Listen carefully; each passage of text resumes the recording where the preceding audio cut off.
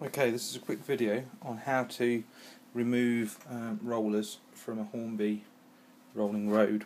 so what we do is we get a screwdriver with quite a small point and we get the front of the roller so this is the end where all the rollers are, not, not the track end.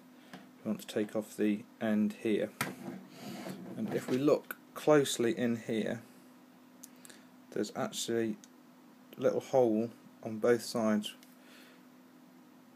inside the roller. You can just see it in there.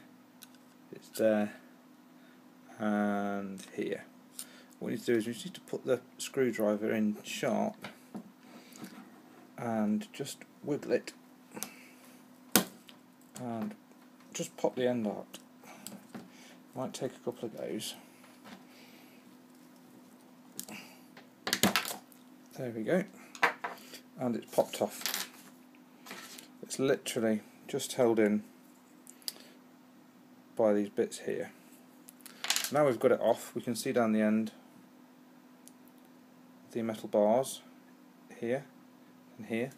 So we just unscrew our piece and we just take it out the end. And that's it. And then obviously to pop it back on just get the right way around with Hornby facing upwards. And pop it in. And just make sure that the rods inside have gone into the little fixings like so. And you're done.